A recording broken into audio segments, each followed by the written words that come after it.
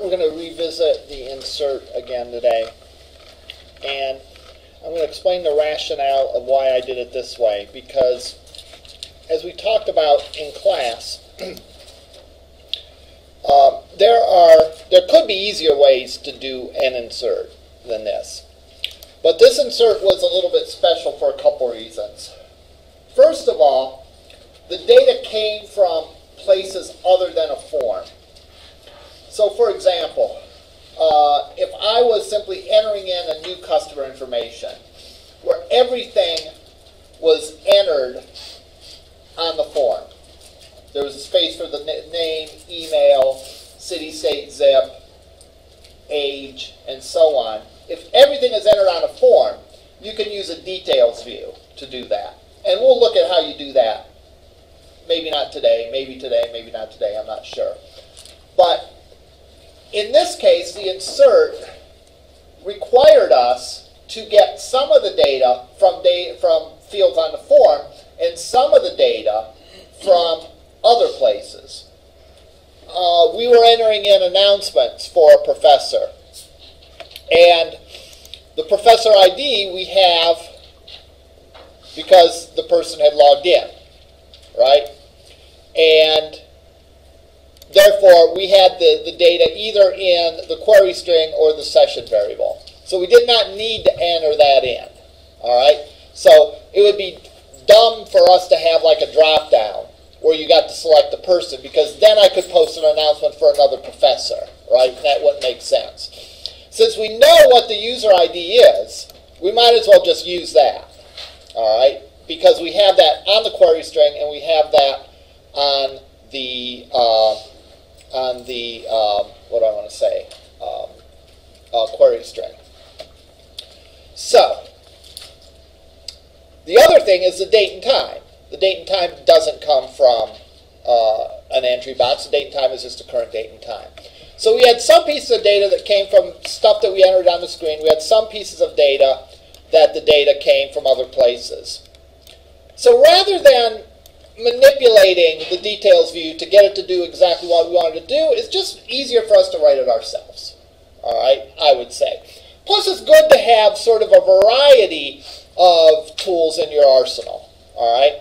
Uh, we we will see examples of using a details view to insert data, and and we've seen this way. So we have two different ways. You can look at the situation and judge which way works best for you.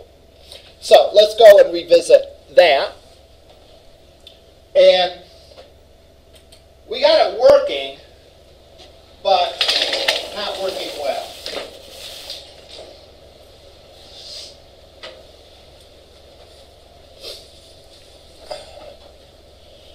And let's remember where we were at with this.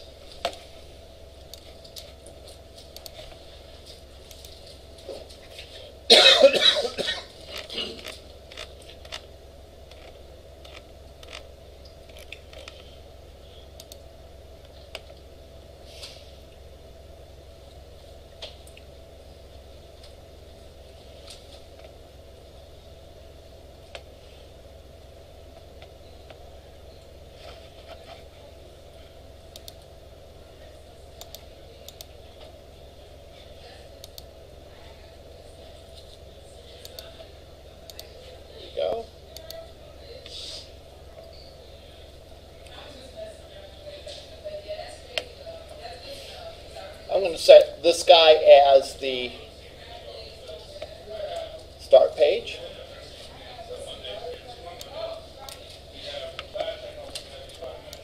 So we're going to run this.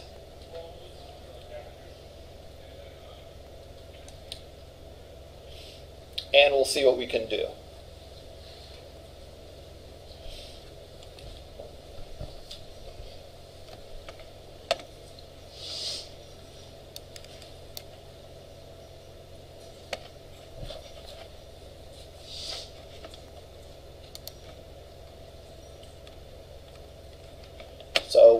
Search for a professor. We can go to their details and we can add a message in. All right, title is Thursday, Thursday, is my Friday. Because I don't have class Friday. Alright, I click save and tell what happened, but it actually worked. Alright, if I go to the database and viewed the data, we'll look in that table and we see we actually have that in the announcement table. Thursday is my new Friday. All right. I'm going to go delete these guys because they were they were just garbage test data I put in.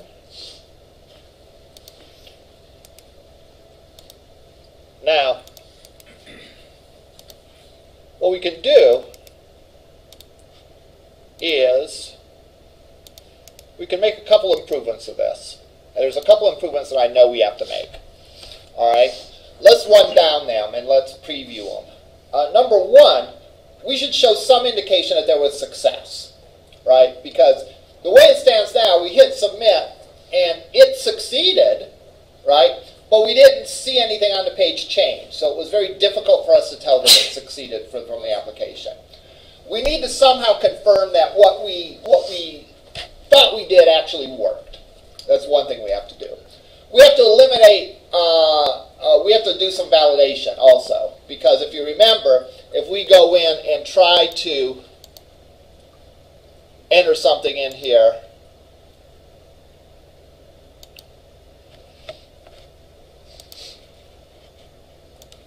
and skip a field, we get a very ugly error.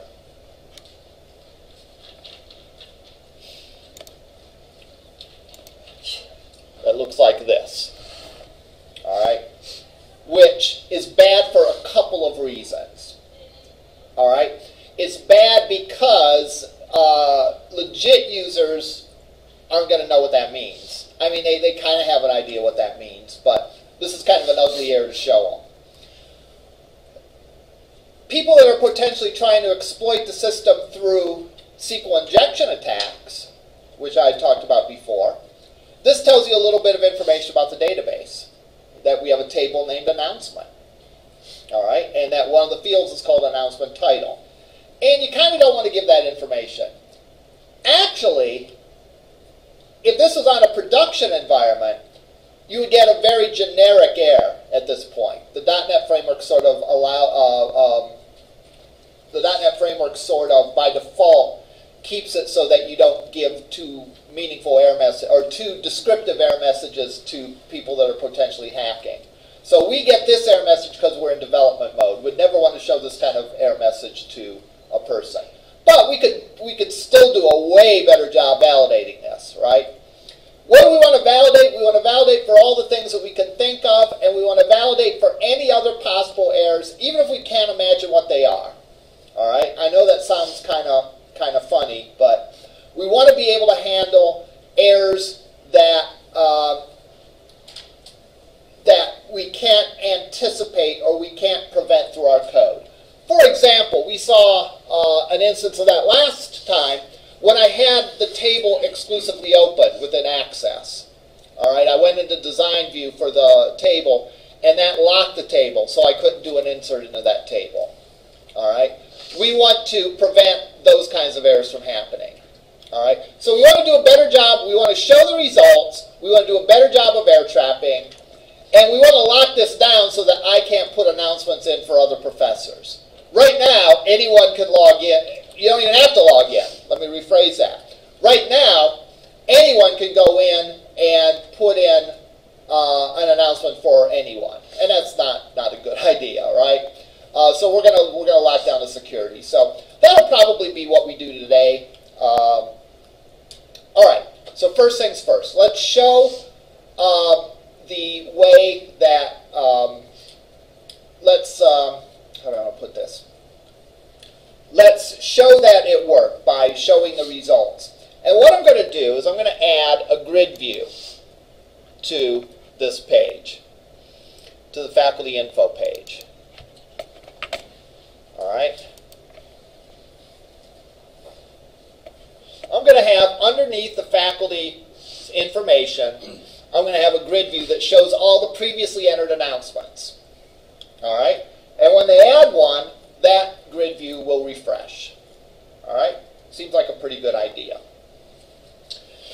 Um, what else do I want to say about this? Keep in mind that I'm not doing a lot of formatting of this. You can do all kinds of styling to make your details view and grid views look better. But right now I'm not really doing that. Okay, so let's go in and let's add to this a grid view. I'm going to add the grid view there. Oh, I added, did I add a grid view? Oh yeah, it's just in the wrong place. And I'm going to add a SQL data source. Now, um, remember, I'm going to save this. Remember where we've been having the problem with uh, locking up when we go to configure the data source. All right, so I saved it, and we're going to try to configure the data source. But remember, we have an out, right? We can always go in and code the data source using the code view instead of using the GUI view. So it's a little bit harder, but it's good practice to know how to do that. So we'll go and we'll try to configure the data source. And if it doesn't work, if it freezes up, we'll then go in and we'll manually code the SQL data source. So I'm going to go in here, configure data source. What do I want? I want this connection string. Next.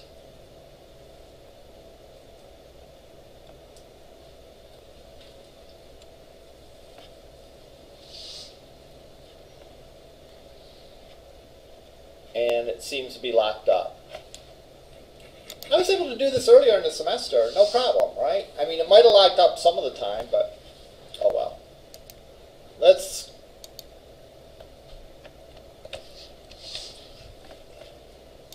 exit out of here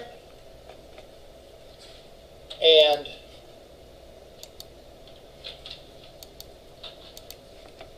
we'll use this as an opportunity to you how to do this in code, code mode.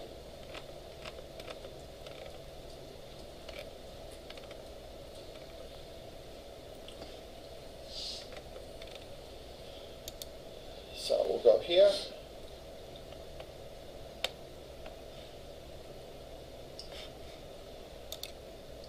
Open this up.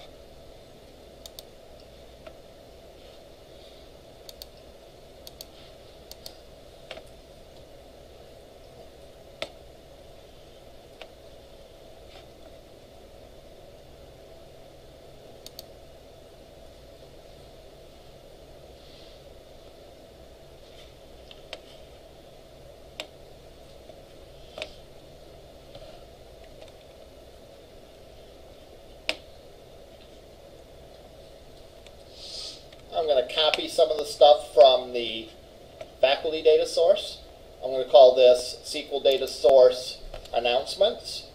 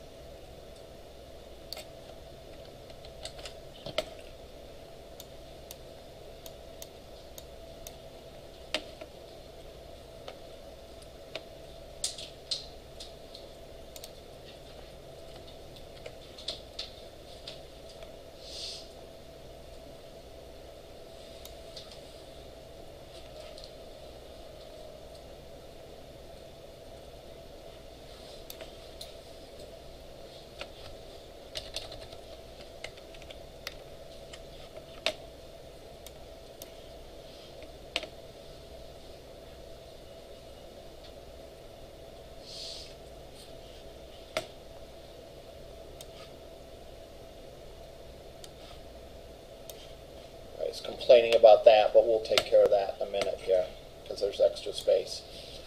The connection string is the same. The provider is the name.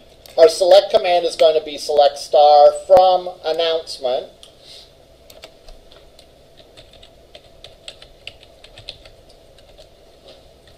Where faculty ID equals question mark. And we're going to do order by announcement date DESC. What does DESC mean? Descending. So we're not going to have it from the earliest to the latest. We're going to have it from the latest to the oldest, which makes sense for announcements, right? The more recent announcements are probably more relevant than the older announcements. So we're going to show those at the top of the list. Let's make sure that this uh, select command works. And I'm going to take it and paste it into access.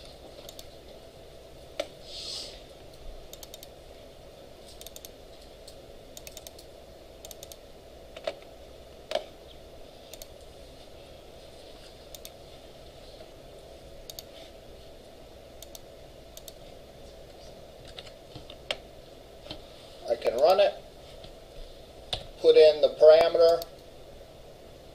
Oh, announcement date was not a valid number or field name. Should be announcement time.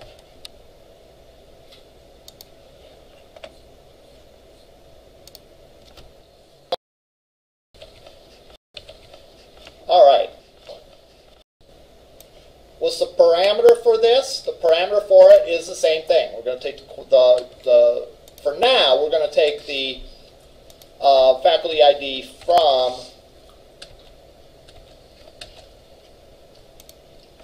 the um, the faculty ID from the query string.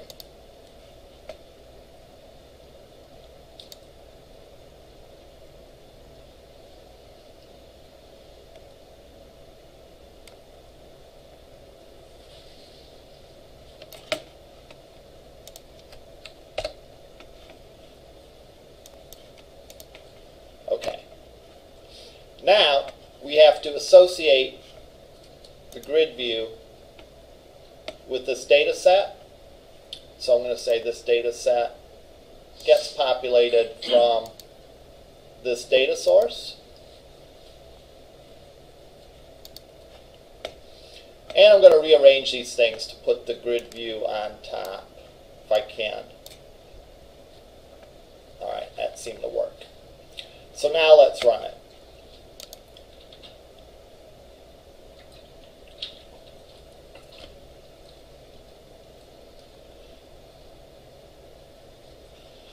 So, oops, I wanted to put this one as a start.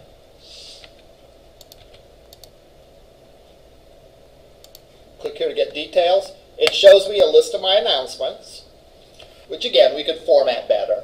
You know, I am not doing anything with styling of it. All right. Now when we put one in, uh, will be good now. Uh,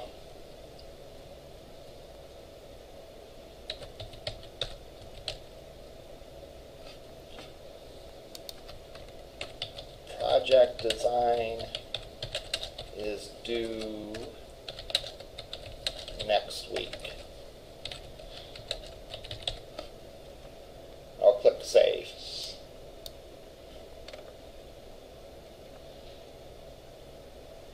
And didn't work. Okay? Or did it? Let me hit refresh.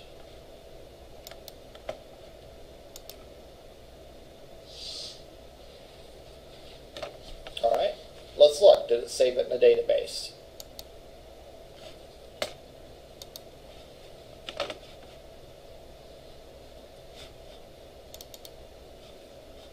Yeah, it did. In fact, it saved it twice in the database, once for each time. So something's wrong here. All right. My guess is that it's a timing issue. That grid view is refreshed before the insert to the database happens. All right? So in other words, if we're following through this,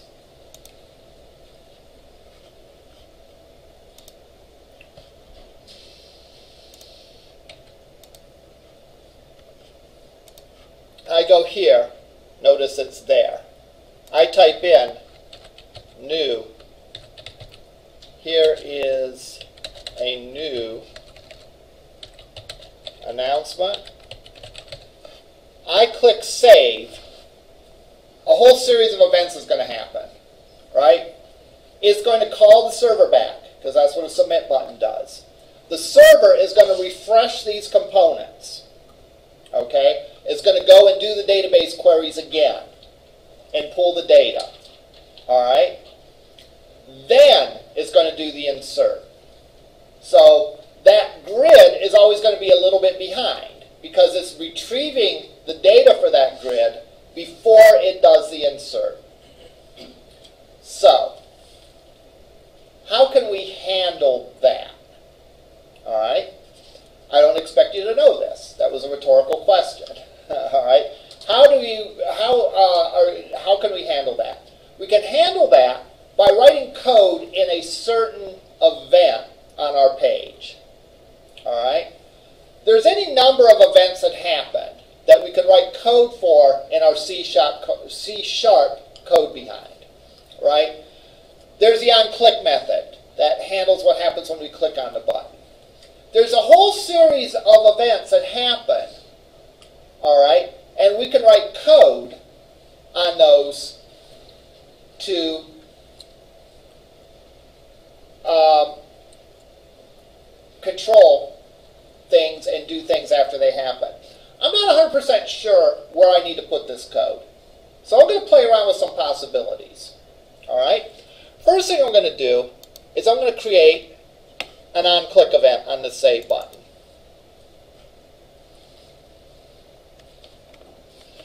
All right, here's the insert. What I want to do now is after the insert is done, I want to go and retrieve that grid view. So how do I refresh a grid view?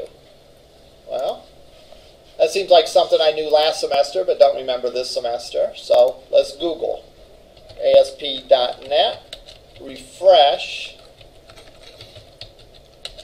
grid view. How to refresh a grid view after I pressed a button. All right. It's almost like, you know, some of these things were like sitting out there waiting for me.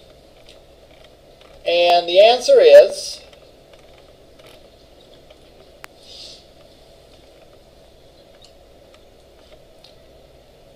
gridview.databind. So, I can put in here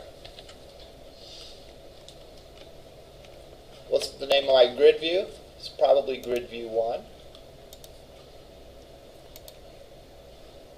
Yeah, grid view 1.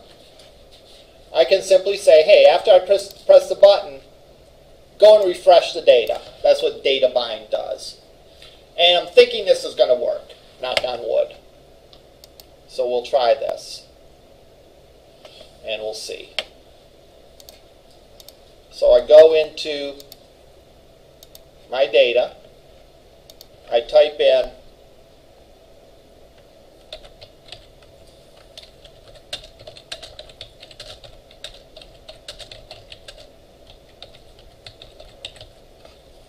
click save, and there we go. Okay? So, here's the idea. We're, this is another case of the default behavior didn't work for us. Right? The default behavior was for the retrieval to happen after, or I'm sorry, before the button was clicked. So we can write our own code to do it the way that we want to. All right? So uh, it, it always bugs me, and I get this a few times a semester, when people say, well, that's what .NET did. .NET did it this way. .NET did it that way. You know, .NET isn't the programmer. .NET is a tool, you know. you wouldn't take a, a you know a, a table that a carpenter built, and when you ask the carpenter why aren't the legs even, say, well that's how the saw cut the legs. No, you cut the legs. You use a saw to cut the legs, but you use a saw wrong if the legs aren't even. Same idea here. We want that to refresh after. Now, .NET's normal default behavior didn't work the way that we wanted it to initially. But we can program it to work however way we want to. So, the other thing I want to do is I don't want to leave these populated with their old values. So what else can I do after the insert? what else could I do after the insert? Set the text boxes to empty quotes. Yeah, set the text boxes to empty strings. So I can say text box title dot text equals an empty string and the other one is called what text box message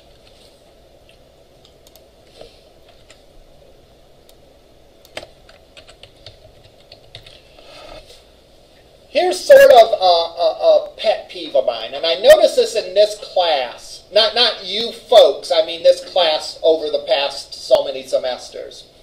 Um, that sometimes, like in their project or in some of their assignments, they write something that is close to what was asked for, but it just completely logically doesn't make sense. Sort of the flow you still have to put your sort of user cap on and say, if I was a user accessing this page, does this flow make sense to me?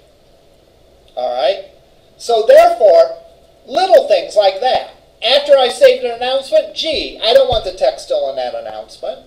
All right? So, okay, I'll clear it out.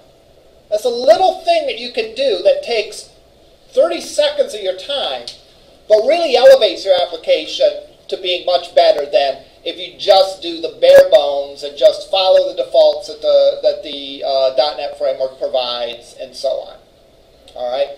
So when you're running your application, look at it and say, does this make sense to me? If I was a professor entering in announcements, does this behave the way that I would expect to? And if it doesn't, it's not .NET's fault. It's your fault. And you need to go in and correct it and make it work the way that it's supposed to. All right? This is what I was getting back before. The default behavior of .NET is great. In some cases, it does a, a large number, a large percentage of what your total task is. But if it doesn't work, write it, fix it, make it work the way that you need it to work. All right? So, especially on your project, you know, how many manuals are there for websites? There aren't manuals for websites. You go to a website, it's expected to be clear enough that just the average Joe in the street can go log on or not log on and do what they need to do without like being totally puzzled and totally confused. Sometimes it's good to show what you're doing to other people. All right? Does it make sense for this to work that way? All right? If not, change it. Okay. So, What's next? Sometimes have other people take a look at it. Again, I, I don't know if I mentioned that or not. That can be very useful. All right. I typed wrong. I should say message dot text.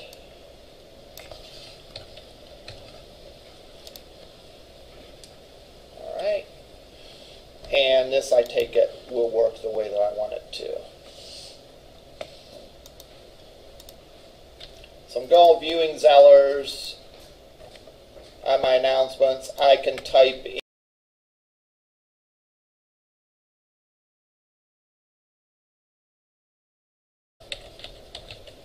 Thanksgiving, which is not too far away.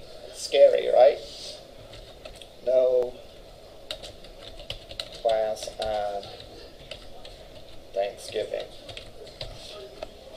I mentioned before, this is a technical class, right? The focus on this is writing different programming techniques and all that, but you still need to keep your designer hat on, I guess is a, is a lesson of this. You know, think, how would I want to see announcements? I probably would want to see them in reverse order, the most relevant one up front. All right? Okay, so we handled that. All right? Um, again, I could format this to look better. I'm not going to in the interest of time. Now, next thing that we need to do is validation, right? Because this just isn't acceptable. Blowing up and giving us a big old ugly error message. All right? That's not acceptable. So we need to validate. Now, what kind of validation do we need here? It's actually pretty straightforward. We just need a validator for the uh, required field validator for the title and for the message. Now, some of you might say, well, I'm going to write the code here. I get this in this class a lot. I'll write, uh, I'll do some validation here. Use the controls, all right? Because the controls are tested. Um, you know, why reinvent the wheel? There's already a component that allows us to do a required field validation, so we might as well use it. So I'm going to go in and I'm going to put two required field validators on here. One for that, one for that.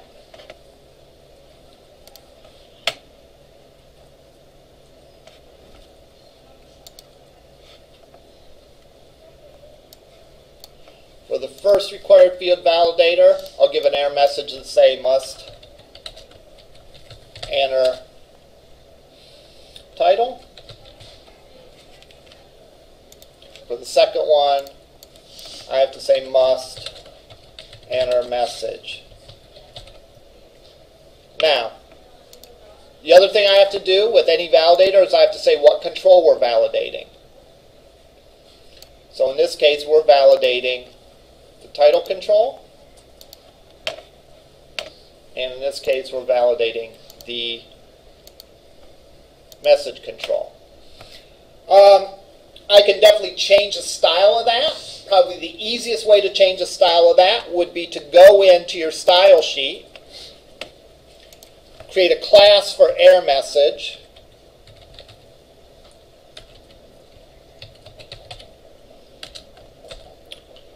and color red, font, weight, bold, font size, 1.2 em.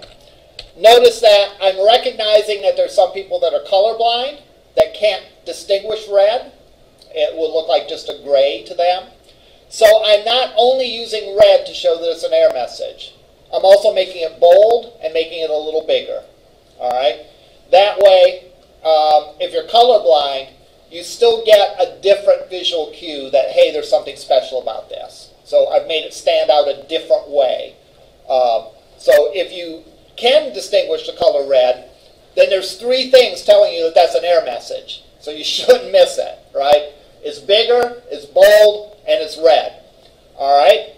Um, if, however, you are colorblind, it'll still be, won't be red, but it will be bold and larger font. So now I go and do this.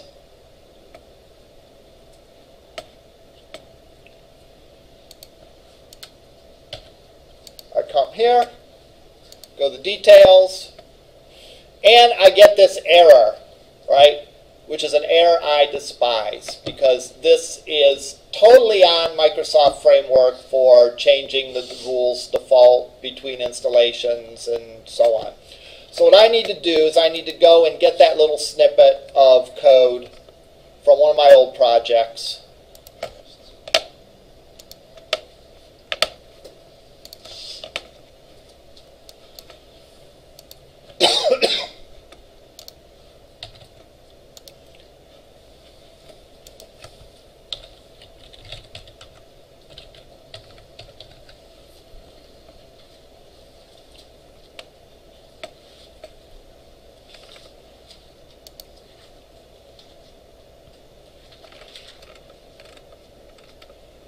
see, when did we do that? I'm going to guess by this time of the semester we did it. By the way, what if you get an error like this? All right? If you get an error like this, you know, I happen to remember this one, and I know I have the code in. I know I have the code somewhere, so I'm just going to go and grab it. But if you were to get an error like this, and you didn't, you don't remember what talking about this in class or whatever, Google the error verbatim. All right, it, it, you know a lot of people know that, and if you do, good for you. There's a lot of people though that seem like puzzled by that magical technique. All right, because you're probably not the first person in the world to have this problem. All right, and so therefore, Google it, and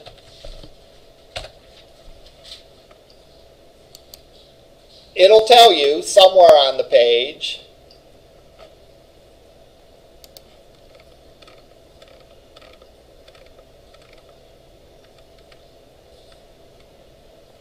You might have to sift through it.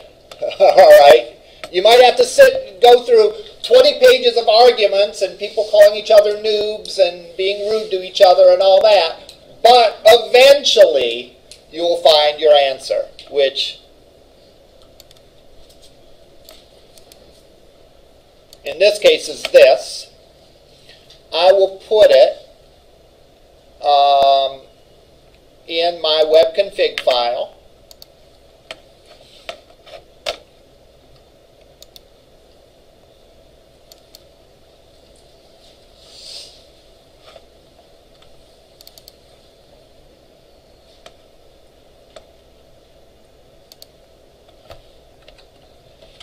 Think it goes here. It doesn't. Nice thing to tell you that it doesn't go there.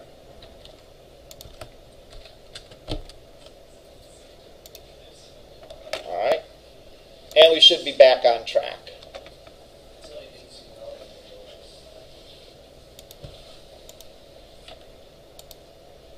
Okay, and we are. Oh, no, we're not at that page yet. Details. Yeah, we are. We hit this, we get our error message. Doesn't give us the error styling now. Why not? Forgot to tell it to. I defined the, the class, but I didn't associate the class with that label.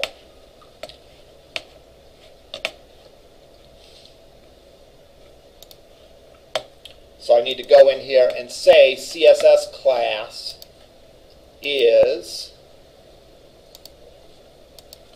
what I call an error message. I'll do the same thing with that.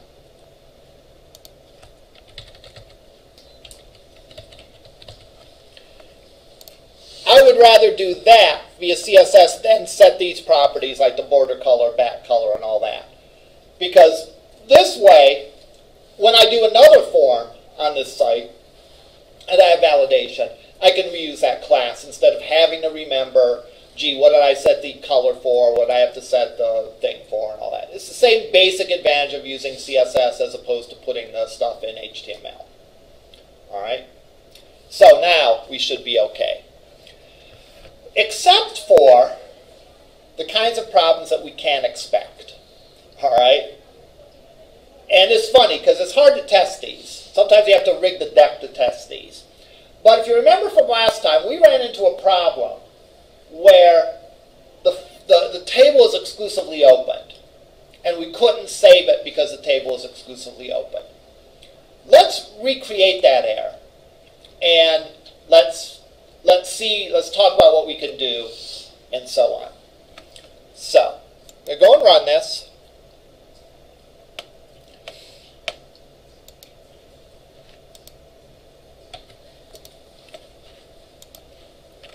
All right. I no longer get an error doing that. That's good. But what if I go in to the database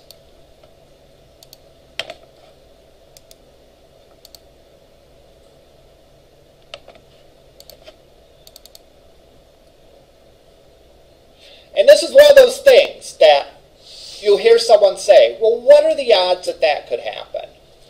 Well, over long enough time, the odds are pretty good that something weird is going to happen, right? So you might as well, to as great a degree as possible,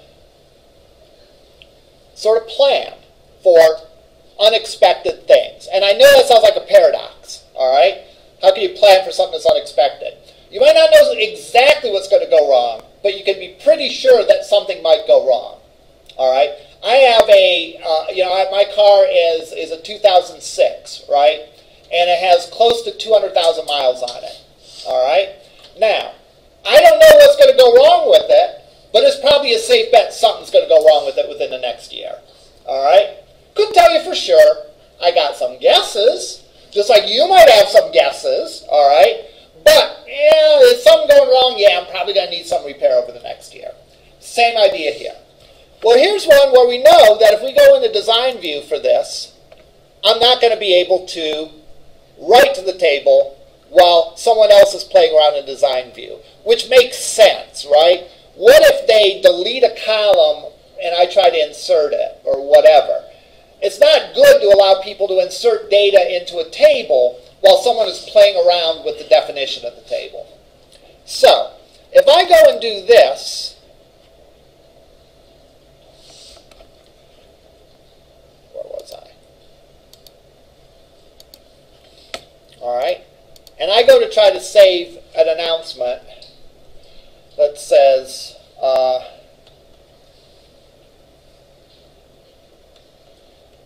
um,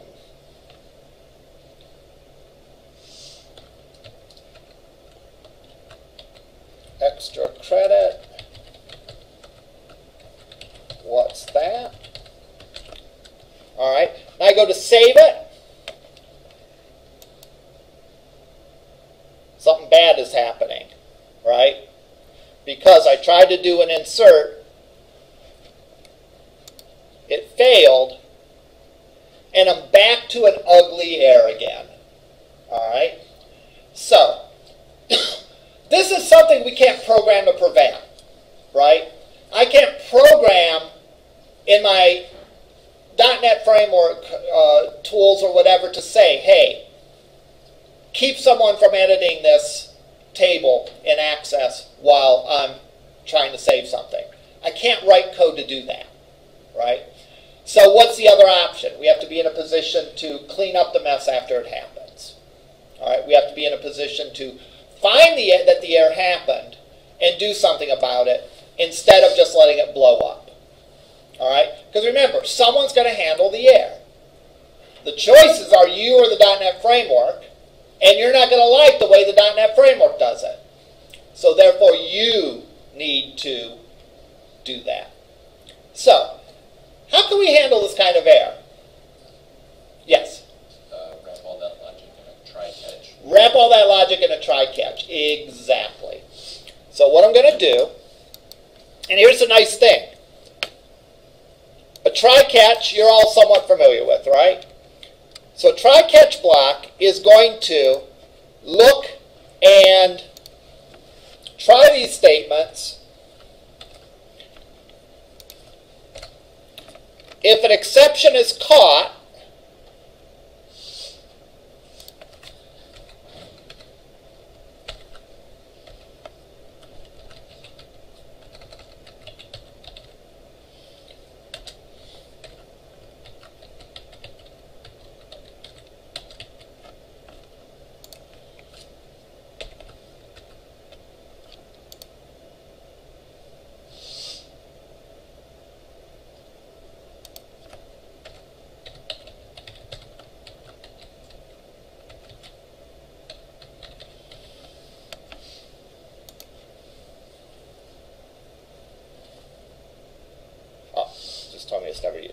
If the exception is caught, then I can do something with it.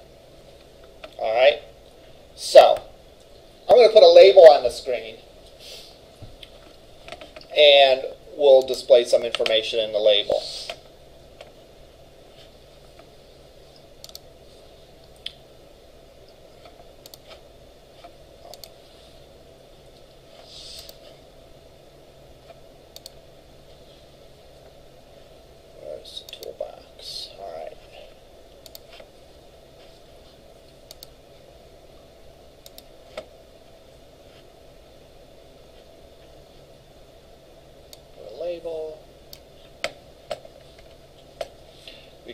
It how we want to. And we can do something like this and say label 3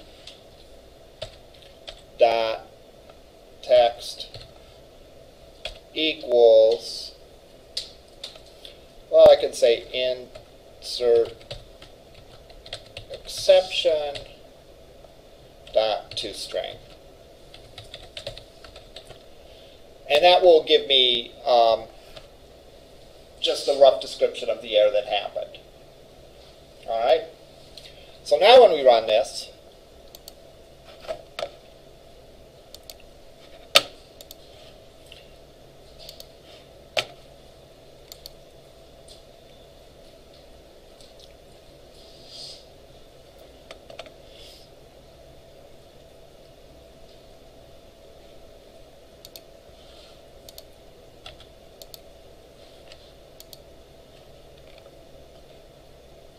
Okay, I'm going to design view for the announcements.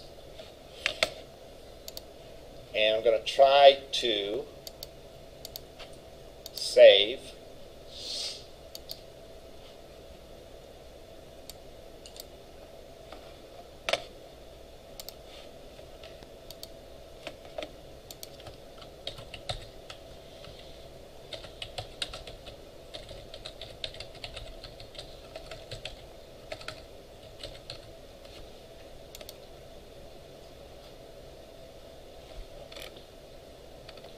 All right, we got a message. It didn't blow up. It didn't give us an ugly message. Now, that's still a pretty ugly message, right? All right, but here's the good news. We can write our own error message, all right, based on what we think could be going wrong here. Like, at this point, I've tested the insert statement. I've validated the data. So I know that that insert works, all right, and I'm validating the data. The only thing that could really go wrong is if there's something wrong on the database end, all right, because I've handled everything I can handle. So if there's a problem, it must be on the database end. So I could display a message that says, um, likely cause, database maintenance is being done, try entering in a few minutes. All right. If this persists, contact the help desk. If I was doing this like for a college. All right. That's a reasonable error message. It tells the user what happened, that your announcement was not saved, what the probable cause is, and what they need to do. So I'm going to go and I'm going to, instead of displaying this ugly error message, I'm going to display my own error message to say, announcement not added. Uh, what do I want to say? Um, likely cause, database maintenance, in process, try again in a few minutes.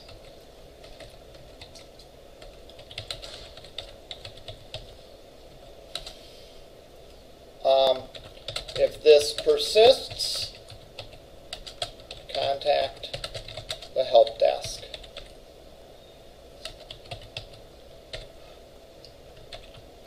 I could even do something like pop up a link, an email link to the help desk, if I wanted to be extravagant here.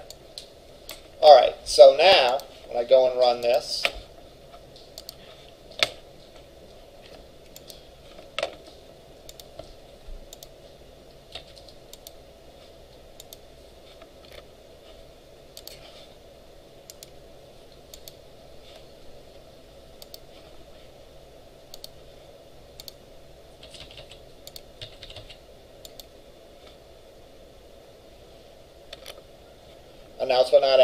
added. Likely cause, database process, database maintenance in process. Try again in a few minutes. If this persists, contact the help desk. All right, a couple other things I want to do to this. If it makes it all the way through, without giving me grief, I want to blank out that error message. Because what if I try it again in 10 minutes? All right. Uh, and I want to give that label the error message class. Okay.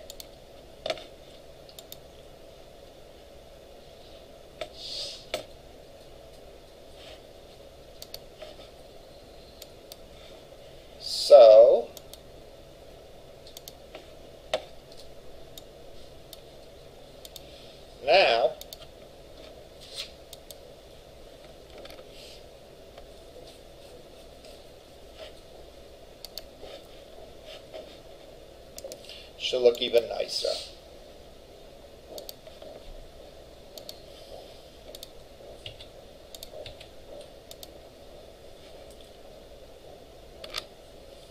And there we go. All right. Now, this took how long to do today? This took 45 minutes to do. And that's with me talking and running into little problems and this, that, and the other. It didn't take much more work for me to transform what we did from where we came in, which worked in a very loose definition of the term worked, all right? It put stuff in the database, all right? It didn't take us very much time at all to elevate it from being something that was barely adequate to something that's pretty good, all right? So keep that in mind. Uh, take the extra effort to consider how the work flows, how a user would interpret this, what, what would be on a user's mind if they were seeing these things, and put code in to make it work the way you want it to, not at the mercy of the way that the .NET framework wants to do it. Okay, now, the elephant in the room here is that right now anyone can enter an announcement for anyone. All right? That's clearly not correct. Right? So, what do we want to do? All right? What we want to do is we want to keep a person from entering an announcement unless two things. Right?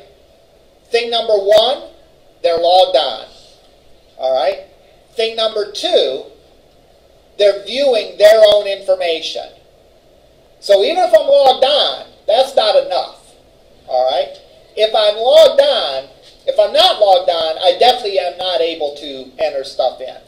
But if I am logged on, I better be the person whose page I'm looking at in order to be able to add stuff. So how do you think we're going to do that? How are we going to keep people from not being able to insert stuff into the announcement table? They can view the announcements. That's acceptable, right? But how do we keep it to keep people from being able to, to enter announcements unless they're the person whose page that is? Any thoughts?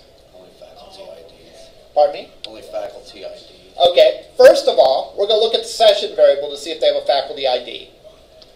All right? Because that indicates whether they're logged on or not. So if they're logged on, then they might be able to enter. The second thing we're going to do is we're going to make sure that their faculty ID matches the faculty ID in the query string. Right?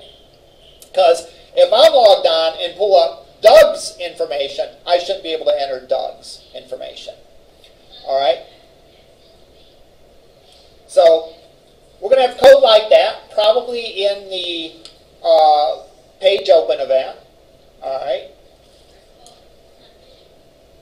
How are we going to keep people from entering stuff in, though? Once we determine that you're allowed to enter or you're not allowed to enter, what are we going to do? Pardon me? Just don't display it. Just don't display it. Right. So if they're not authorized to log in, we're not going to display it. If they are authorized to log in, then we're going to display it. Now, we could do this individually, right? I could make this, this, this, this, all um, invisible or hidden or whatever. But the easier way to do that is with a panel, right? So what I'm going to do is I'm going to put a panel on the page. And what's a panel?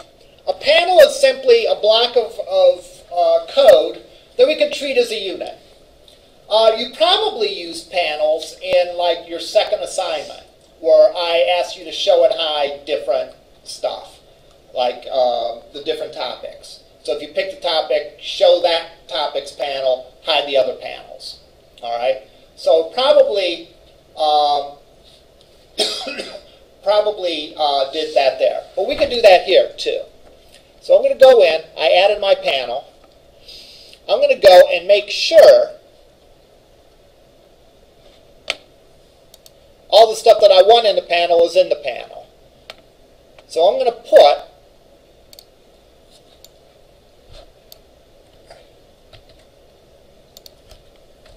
a panel up here.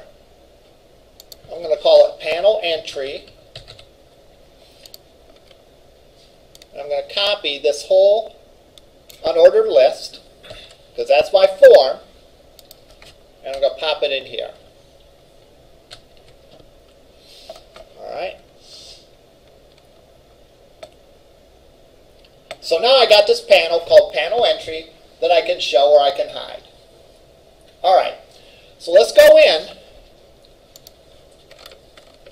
And on the page load event, I'm going to check what? I'm going to check to see if they're logged in. We've already checked to see if they're logged in. How? We look to see if their full name is null.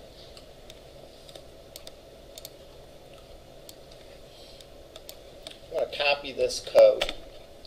I'm going to do a slightly different test though. I'm going to check to see if their faculty ID is null.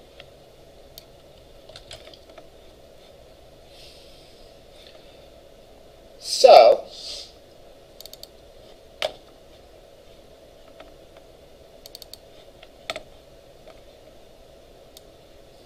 if their faculty ID is not null, then they're logged in. If they're not logged in, what do we want to do? Well, we definitely want to make that panel invisible. So panel entry dot visible equals false. All right.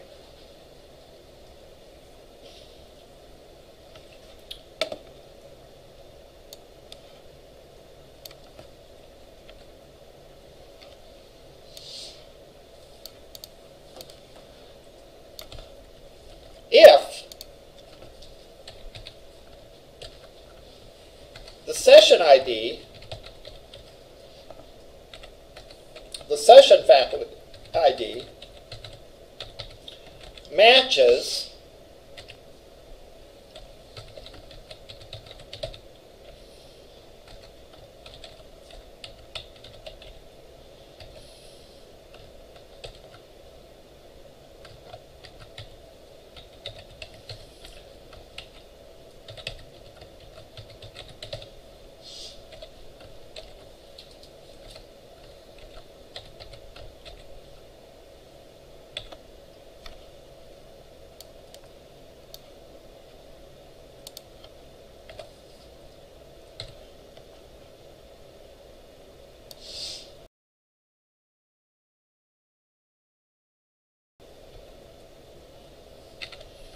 then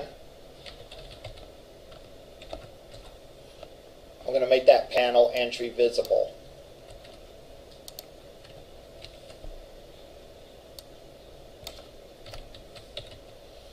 Otherwise, I'm going to make it invisible. So, I'll put some comments in here. Is someone logged in.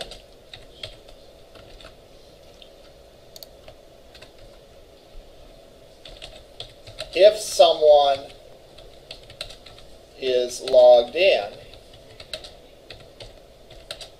are they visiting their own page?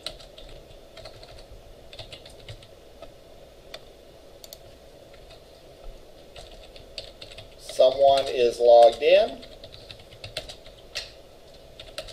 and visiting their own page. Which means that they can go and add new announcements. Otherwise, someone is logged in, but visiting someone else's page.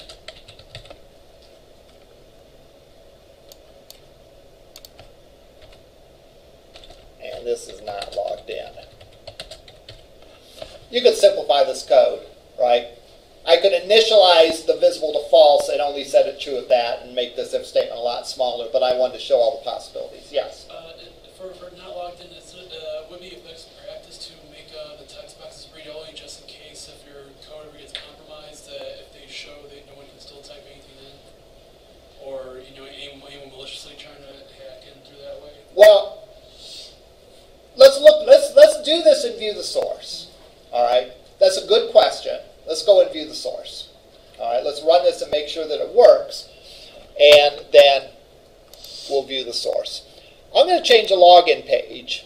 I'm going to set the login page as a start page. And I'm going to change the login page that after they log in, I get redirected to the faculty info page.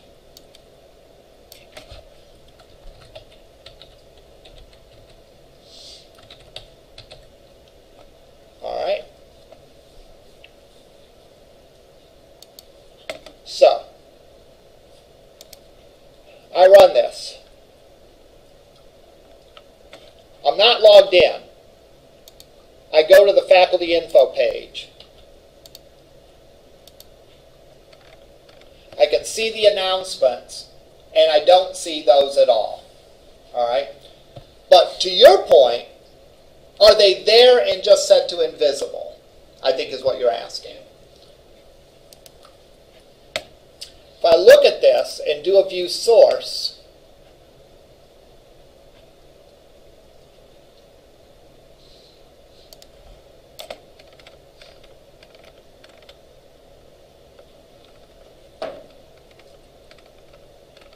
announcements.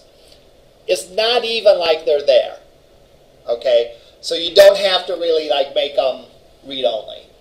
All right? Because they're not even seen there. The only way they'll, they'll appear is if the, if the system was compromised and they logged in as the faculty person. And if they did, there's really nothing we can do to distinguish that from a legitimate login. Okay? So, if it's not logged in, it works.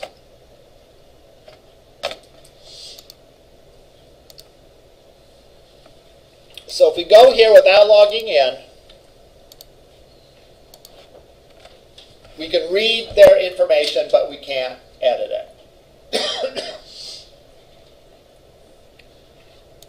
if I log in,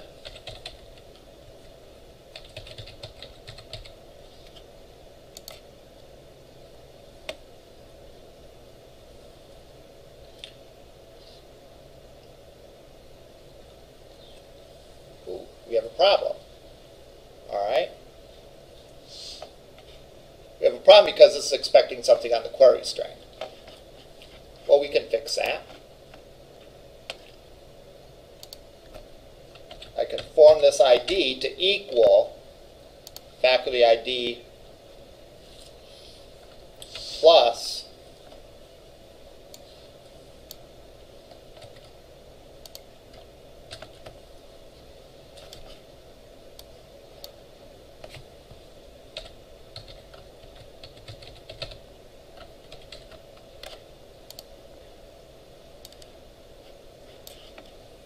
So now I log in.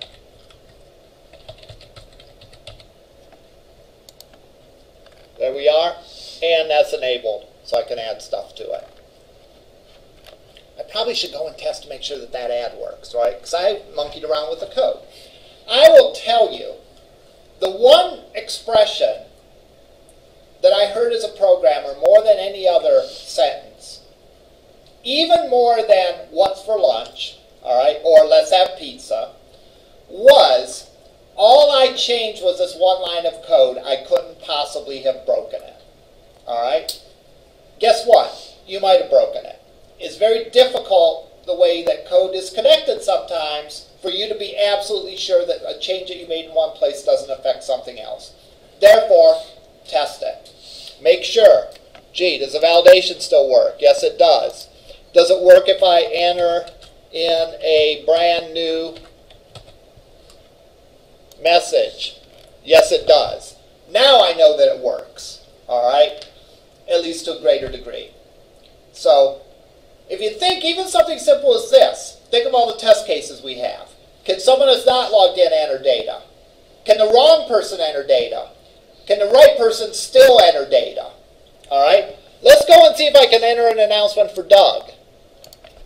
Because I'm logged in as Mike Zellers. What if I search for Huber and go to his page? Ah, I don't have the entry screen. All right, so I can't enter an announcement for him. So this more or less works the way that I set it out to. All right? And again, it worked by me custom coding certain pieces of it to treat the objects on the page the way that I wanted them treated to achieve the task that I was trying to do. All right?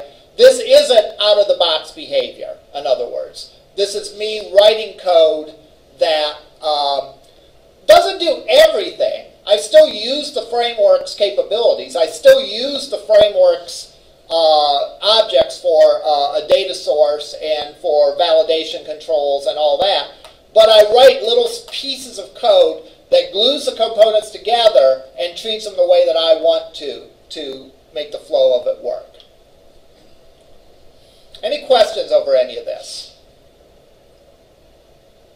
Okay. Um, that's all I had for today. I will go unlock the lab. I'll be back here to get my files. Then I'll be back in lab.